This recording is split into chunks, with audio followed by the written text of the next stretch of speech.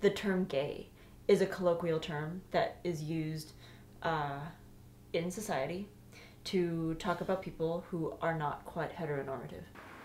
I realized that I was gay when I was a sophomore in high school.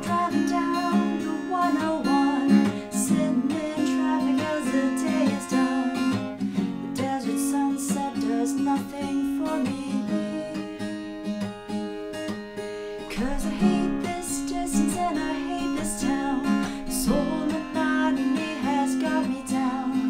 Without you by my side, I don't.